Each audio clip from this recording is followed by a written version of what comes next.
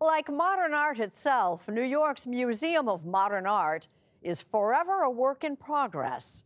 Serena Altschul brings us up to date. For the last four months, New York City's Museum of Modern Art, the most visited modern art museum in the country, has been closed for a highly anticipated expansion. And behind the scenes, clock is ticking. So the opening is late October. Don't make me so scared. I'm sorry, but Glenn Lowry like is the director of the MoMA. Are you going to open on time? We are going to open on time. You know, one of the things that I've come to learn is that these types of projects come together in the last minutes. So we will open on time and it will look fantastic.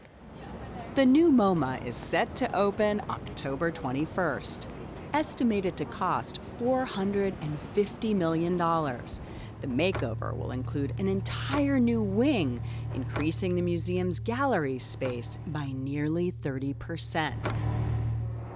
That means space for about 1,000 additional pieces of art. For me, what's so exciting is that there were two museums when I arrived here 25 years ago. There was the museum that was on display, and there was the museum that was in storage. Yeah. And they were unrelated. And now what we've done is to bring those two museums together.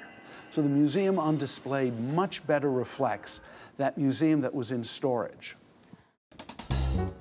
The Museum of Modern Art first opened its doors back in 1929. The mission? To showcase modern and contemporary art. During those 90 years, it's been through eight major renovations. The last one just 15 years ago. It's a new yet familiar home. Sunday Morning covered that too, with Morley Safer as our guide. A secular cathedral to limitless imagination. Now a new architect is making her mark on the institution. And I cut school all the time to come here and get a new education. Architect Liz Diller has spent a lifetime visiting the MoMA give it a new life and a fresh life and more. Now, her firm, Diller, Scofidio, and Renfro, is helping write the museum's next chapter. What is different today at the MoMA from what it was, what MoMA was before? Well, I think the very first thing that people will notice mm-hmm. is that the entrance is much more pronounced. Her goal make the museum more inviting that involved opening up the lobby and moving the museum store down one level.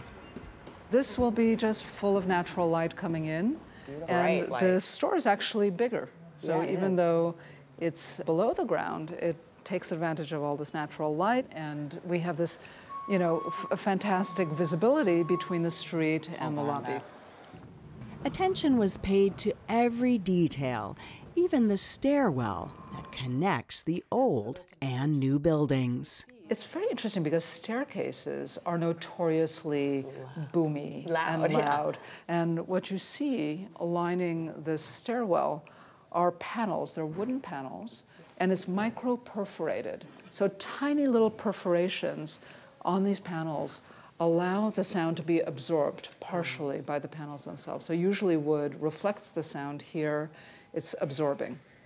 Of course, the building isn't the only thing getting spruced up. The art is too. Masterpieces have been cleaned and touched up. The galleries completely reorganized. We used to be a museum made up of individual departments, and those departments were dislocated from each other. Now we've brought everything together under one circuit so that you'll see photography and film and architecture and design and painting and sculpture and new media all together in a new way that feels much more whole and I think real. It is about the imagination.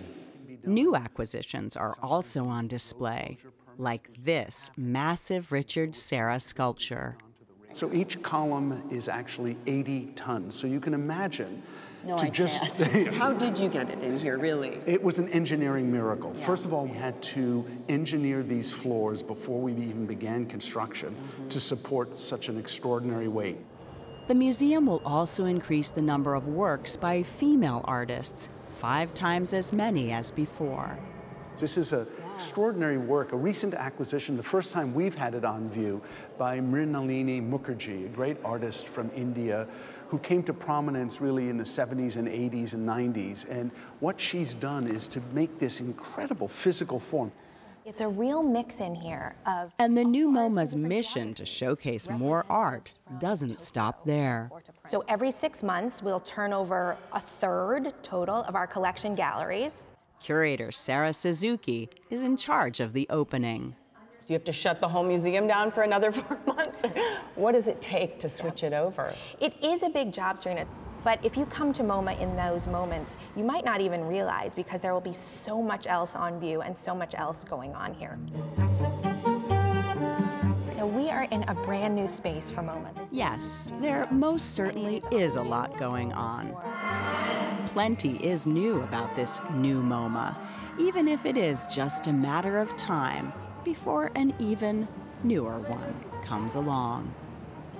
We've probably pushed the footprint as broadly as we can, but 10, 15, 20 years from now, as a new generation of curators needs to change the footprint of the galleries, we will find the way to make that happen.